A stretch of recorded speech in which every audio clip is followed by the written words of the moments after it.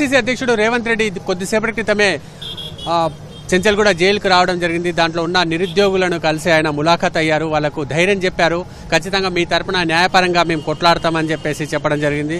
దాంతోపాటు ఈ రైల్వే కేసులు ఏవైతే ఉన్నాయో దాంట్లో పెట్టిన త్రీ నాట్ సెవెన్ కేసును ఉపసంహరించుకోవాలి. ఆ కేసును ఉపసంహరించుకోవాల్సిన అవసరం ఉందని చెప్పారు. అలాగే కోర్టులు స్పీడ్గా పనిచేసి ఈ కేసును వెంబడే క్లోజ్ చేయాల్సిన అవసరం ఉంది. ఆ విధంగా సెంట్రల్ గవర్నమెంట్ కూడా కొన్ని నిర్ణయాలు తీసుకోవాలని చెప్పారు. ఒక పక్క సెంట్రల్ గవర్నమెంట్ కేసులు పెడుతుంటే రాష్ట్ర ప్రభుత్వం కూడా రెండు ఎఫ్ఐఆర్లు చేసిందని చెప్పేసి రేవంత్ విమర్శించారు. ఇరవై ఏడవ తేదీ రోజు నర్సంపేటలో ఆయన నిరార దీ- ఆ రోజు దీక్షకు కూర్చుంటానని కూడా చెప్పారు. దాంతోపాటు ఒక ఒక నంబర్ని ఇచ్చారు. ఆ నంబర్కు వీళ్ళందరూ ఫోన్ చేస్తే లాయరు వాళ్ళకు అందుబాటులోకి వస్తారు న్యాయపరమైన సహాయం చేస్తారు బెయిల్ ఇప్పించే ప్రయత్నం చేస్తామని చెప్పేసి రేవంత్ వీళ్ళకు ధైర్యం చెప్పడం జరిగింది. ఏమమ్మా కలిసారా రేవంత్ రెడ్డిని? ఏమన్నారు? మాట్లాడతామన్నారు సార్. బెయిల్ ఇప్పిస్తామని అన్నారు. తీసుకొస్తాం బయట లోపల ఎవరున్నారు? మా బాబున్నాడండి ఏం జరిగింది ఆ రోజు? ఆ రోజు ఏం జరిగింది మాకైతే తెలియదు సోమవారం సాయంత్రం నుంచి ఫోన్ స్విచ్ ఆఫ్ వస్తుంది. అయితే అంతకుముందు ఇట్లా పోతా అని చెప్పేసి అని అంటే వాళ్ళ డాడీ ఉండి ఏమొద్దు నువ్వు వెళ్ళవాక అని చెప్పేసి అని అన్నాడు. అయితే ఇంత కష్టపడ్డాం డాడీ రాలిగి ఇట్లా అంతా వచ్చింది కదా ఒక ఎగ్జామే కదా. ఈ కరోనా వల్ల ఎగ్జామ్ పెట్టలేదు కాబట్టి పోతాం పోయి ఏమన్నా ధర్నా గిట్లా చేస్తారో వెళ్తామని చెప్పేసి అని అన్నారు. అంటే మరి ధర్నా వరకే చేయి నువ్వేం చేయవాక అని చెప్పేసి అని ఈయన ఉండనన్నాడు పోయి వచ్చినాక మళ్ళీ ఒకసారి కాల్ మాట్లాడిండు మాతోటి. ఇక సోమవారం సాయంత్రం ఫోన్ చేసేసరికి స్విచ్ ఆఫ్ అని వస్తుంది మేము వాళ్ళ ఫ్రెండ్స్కి వాళ్ళకి మా బంధువులకి అందరికీ ఫోన్ చేసినాం. ఎవరికి ఫోన్ చేసినా రాలేదు రాలేదని చెప్పేసి అని అన్నారు. ఇక మాకు టెన్షన్ స్టార్ట్ అయింది. అసలు ఇట్లా అనుకోలే ఏమైందో ఏమో అని చెప్పేసి అని అట్లా అనుకున్నాం. సోమవారం సాయంత్రం తీసుకెళ్తే మంగళవారం వెళ్ళి బుధవారం మధ్యాహ్నం మూడు గంటలకు ఈ రైల్వే వాళ్ళు ఫోన్ చేసిరు ఫోన్ చేసి మీ బాబుని ఇట్లా అరెస్ట్ చేసినాం. సెంచల్ కూడా జైలుకి వచ్చి చూసిపోండి అని చెప్పేసి అని అన్నారు. నిన్న పొద్దుగాల వచ్చినాం సార్ ఇక్కడికి. సాయంత్రం అయింది బాబుని చూడనిచ్చేసరికి. మీ బాబు ఎక్కడమ్మా మీది ఏ ఊరు? ఎట్లా ప్రిపేర్ అయ్యిండు? మాది యాదాద్రి డిస్టిక్ మోత్కూర్ మండలం సార్ మాది. అక్కడ మాది. అయితే గట్కేసర్ దాంట్లో జైన్ అయ్యిండు కోచింగ్ ఇట్లా తీసుకుండు. అంతా అయ్యింది. ఇది ఎగ్జామ్ పెడతలేడని చెప్పేసి మళ్ళీ కానిస్టేబుల్కి అప్లై చేసిండు. ఇప్పుడు కానిస్టేబుల్కే ప్రిపేర్ అవుతుండి తను ఉమ్. ఇప్పుడు రేవంత్ రెడ్డిని కలిసారుగా ఏం చెప్పాడు మీకు? ఏం చెప్పారు? మా పోరాడదాం బయటికి తీసుకొచ్చిన దాకా పోరాడదాం అని చెప్పేసి అని అన్నాడు. తీసుకొద్దాం బయటకు అని చెప్పేసి అని అన్నారు. ఏం చేస్తుంటారమ్మా మీరు? మేము రైతులం సార్ అగ్రికల్చర్ వ్యవసాయం చేస్తామండి. లాయర్ని ఎవరైనా పెట్టుకున్నారా? ఏది మాట్లాడలేదండి ఇంకా. మేము ఏది మాట్లాడలే ఇంకా. ఓకే. ఇప్పుడు రేవంత్ రెడ్డి ఏదైనా లాయర్ని పెడతా అని చెప్పారా? ఆ, మాట్లాడదామని చెప్పేసి అని అన్నారు కదా వాళ్ళు ఇప్పుడు. మీరు కలిసారా రేవంత్ రెడ్డిని? ఏం చెప్పాడు? సార్ కలిచాను సార్ సార్ని కలిచాను. ఖచ్చితంగా అండగా ఉంటామని చెప్పారు సార్. మాకు ఒక నెంబర్ కూడా ఇచ్చారు సార్. అక్కడ పోయి కలవండి మీకు లాయర్ గారు మాట్లాడతారని చెప్పారు సార్. ఒక నెంబర్ కూడా చెప్పారు. రేవంత్ రెడ్డి గారు చాలా ధైర్యం చెప్పారు సార్.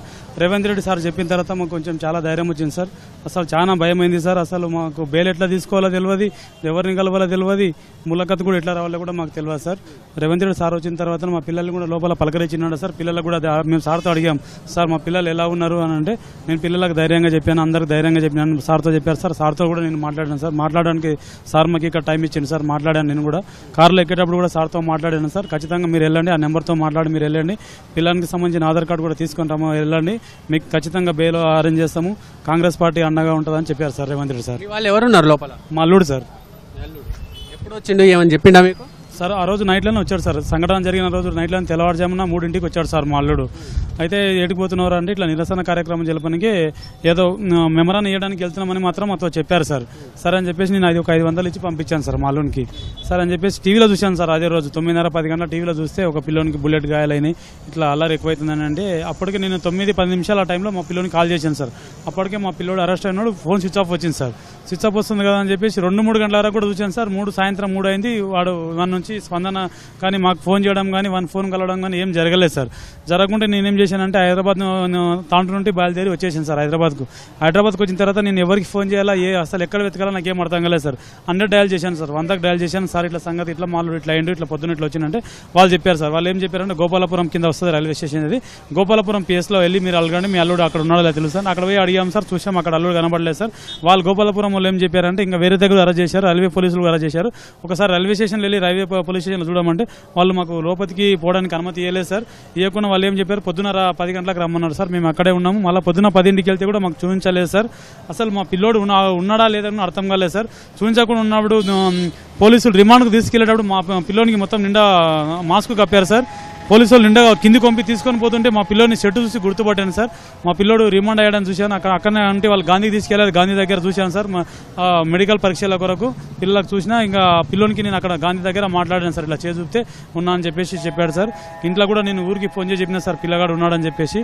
కాకుంటే మరుసటి రోజు దాని అయినా ఆదివారం వచ్చింది సార్. సోమవారం రోజు ములకత్లో కలిసాం సార్. పిల్లోడు కలిస్తే ఒకటే చెప్పిండు సార్. పిల్లోడు చాలా ఏడ్చింది సార్. ఎంత ఏడ్చిందంటే నేను ఏం చేయలేదు అంటున్నాను సార్ పిల్లోడు. అసలు నేను ఏం చేయలేదు మేము ఇంటి దగ్గరే మమ్మల్ని రిమాండ్ చేసిండ్రు. మేము పట్టుకున్న అక్కడ సీసీ కెమెరాలు ఉంటాయి మమ్మల్ని ఏ టైంలో రిమాండ్ చేసిండ్రో కూడా ఉంటుంది. మేము ఏం చేయలేదు నాతో పాటు నేను ఒక్కనే కాదు ఒక పది మంది పిల్లలు కూడా ఏం చేయలేరు. అందరు తీసుకుపోయి కూర్చోబెడతామని చెప్పారు మేము సిఆర్ పోలీసులో కూడా హెల్ప్ చేసినాం కొన్ని విషయాలు అక్కడ ఉండి. కానీ మేము ఏం చేయలేదు ఏది చిన్న రాయి కూడా వేయలేదు అసలు ఎలాంటిది పగలగొట్టలేదు. పగలగొట్టిన వాళ్ళు వేరే ఉన్న పగలగొట్టిన వాళ్ళు పగలగొట్టి పారిపోయారు మేము అక్కడ ఉన్నందుకు మమ్మల్ని పట్టుకున్నారు మమ్మల్ని ఎంట్రీనే పట్టుకున్నారని చెప్పారు సార్. కావాలంటే సీసీ కెమెరాలు చెక్ చేయడం అని చెప్పారు సార్. నిజంగా సార్ అమాయక పిల్లల్ని వదిలిపెట్టడం నిజంగా నేరానికి పాల్పడిన మా అబ్బాయినే సార్ శిక్షించండి సార్. అమాయకుల్ని వదిలేయండి సార్. మీరు కలిసారా రేవంత్ రెడ్డిని? ఏం చెప్పారు మీకు? సార్ అది మీ పిల్లలు ఇడిపిస్తుంది అన్నాడు సార్. ఏ అయినా మీ పిల్లలు ఇడిపించే బాధ్యత నాదే అన్నాడు సార్. ఇప్పుడు కాదు కొంచెం సంతోషం అనిపిస్తుంది సార్. పిల్లలు బయటకు అయితే ఇంకా చాలా సంతోషం ఉంటుంది సార్. మా ఇంటికాడ మా భార్య భార్య సార్. ఒక్క రోజు ఉండదు సార్ ఆమె పిల్లగాడిని. ఇప్పుడు వారం రోజులు అవుతుంది సార్. వారం ఏడికి ఏమైతుందో బాధ నాకు ఉంటుంది సార్. ఈ పిల్లగాడు ఎట్లుంటాడో ఈ తల్లి ఎట్లుంటుందో. ఏ ఊరు ఏమి ఇది? ఏం చేస్తుంటారు? సిద్దిపేట దగ్గర సిద్దిపేట దగ్గర సార్ మాది. గోనపల్లి గోనపల్లి. ఏం చేస్తుంటారు మీరు? నేను నీళ్ళు వాటర్ సప్లై దాంట్లో పనిచేస్తాను సార్ అంతే. ఆ, అలా వచ్చేది లోపల ఉన్నది ఎవరు? నా కొడుకు సార్. ఆ, అల్లాకి ఇచ్చేదే ఎనిమిది వేలు జీతం సార్. ఆ ఎనిమిది జీతంతో నేను బతకడే కష్టం సార్. నేను ఏం చేయగలుగుతాను ఇళ్ళకి వచ్చి? లాయర్ని ఎవరైనా పెట్టుకున్నారా? లేదు సార్. ఏ లాయర్ ఎరకలే మాకు ఏది ఎరకలేదు సార్. ఈ మున్నటి వరకు ఎరకలేదు సార్. ఇక ఏం చేస్తుందో అని ఇక్కడికి వచ్చి సార్ సార్ వస్తున్నా అంటే వచ్చినాం సార్. ఇక మా- ఎప్పుడు మాట్లాడినావు లాస్ట్? మొన్న సార్ మొన్న నేను శుక్రవారం అది సోమవారమా ఎవరు వచ్చిన వచ్చి తెల్లారి మంగళవారం సార్ మంగళవారం మాట్లాడినాం. సోమవారం ఈడ మాట్లాడినా మంగళవారం మళ్ళీ ఫోన్ చేసింది సార్. ఇక అంతే ఇక. వచ్చేటప్పుడు మీతో మాట్లాడి వచ్చిండు హైదరాబాద్ వచ్చింది సార్ వచ్చింది సార్. చెప్పే వచ్చింది సార్. ఇట్లా ప్ర- ప్ర- పరీక్ష బంద్ అయింది. ఏదో ఇట్లా నోటీస్ అంటారు కదా సార్ దాని పేరేందో. ఇస్తాము. అని వచ్చింది సార్ కానీ సార్ వచ్చినాక ఫోన్లు బంద్ అయినాయి ఫోన్ నాకు చేయలేదు. రెండు రోజులుగా ఫోన్ చేయలేదు సార్. శనివారం శుక్రవారం శనివారం ఆదివారం పొద్దు చేసింది పోలీసు వాళ్ళు. ఆదివారం దాకా మొత్తం ఆగం ఆగం జగన్ అర్థమైంది సార్. ఏం చేయాలో మాకు తెలియదు సార్. ఏం చేయాలి మేము మాకు హైదరాబాద్లో ఏది ఫోన్ లేవు ఏం లేవు.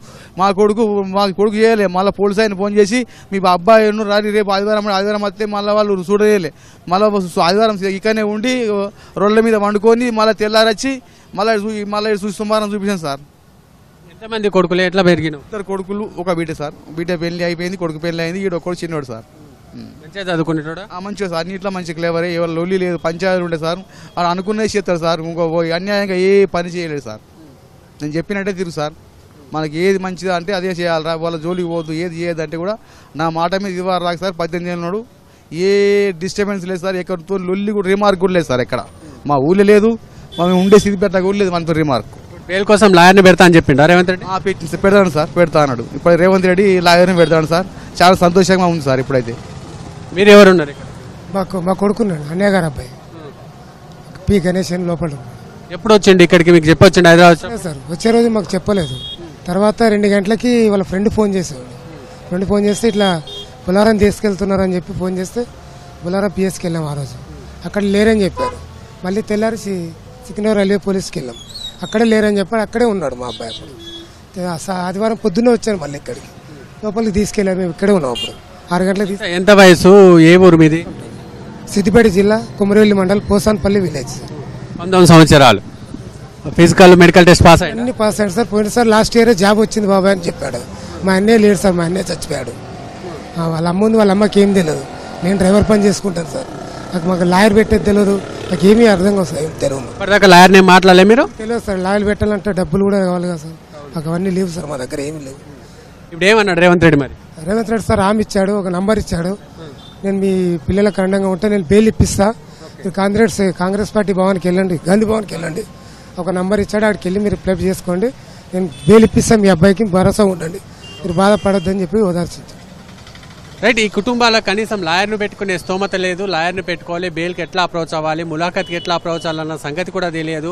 రేవంత్ రెడ్డి కొద్దిసేపటి క్రితం వీళ్ళతో మాట్లాడుతూ వాళ్ళకు ఒక నంబర్ ఇచ్చి మీరు గాంధీ భవన్ వెళ్ళి కలవండి మీకు లాయర్ ఉంటాడు లాయర్ ద్వారా మీకు బెయిల్ ఇప్పించే బాధ్యత నాది నేను అండగా ఉంటానని చెప్పేసి వీళ్ళకు ధైర్యం చెప్పడం జరిగింది. ఇలాంటి అబ్బాయిలు చాలామంది ఏ అభం శుభం తెలియని వాళ్ళు చాలామంది ఈ కేసులో ఇరుకొని ఉన్నారు దోషులు అయితే తప్పించుకున్నారన్న ఇది ఉంది. ఒక పక్క కేంద్ర ప్రభుత్వం తీసుకొచ్చిన నిర్ణయం వల్ల తమ జీవితాలను నాశనం అయిపోతున్నాను ఇక్కడే మనం చూస్తున్నాం. ఒక ఒక అబ్బాయి వయసు పద్దెనిమిది సంవత్సరాలు ఇంకో అబ్బాయి వయసు ఈ ప- పద్దెనిమిది ఈ పంతొమ్మిది సంవత్సరాలు. అంటే ఆ చిన్న వయసులో ఇంత క్రైమ్ చేయాలన్న ఆలోచన కూడా రాదు. వాళ్ళు వాళ్ళు పరీక్ష పాస్ వాళ్ళు కేవలం ఒక పరీక్ష పాస్ అయితే మాకు ఉద్యోగం వస్తుంది కదా మెడికల్ ఫిజికల్ టెస్టులు పాస్ అయ్యాం కదా అన్న ఒక ఆందోళనలో మాత్రమే వాళ్ళు ఇక్కడికి రావడం జరిగింది. వాళ్ళపైన త్రీ నాట్ సెవెన్ దేశద్రోహం కేసులు పెట్టి వాళ్ళను అరెస్ట్ చేయడం జరిగింది కాబట్టి ఖచ్చితంగా వాళ్ళకి బెయిల్ వచ్చే వరకు మీకు అండగా ఉంటా అని చెప్పేసి రేవంత్ రెడ్డి చెప్పినట్లుగా కుటుంబ సభ్యులు చెప్తున్నారు.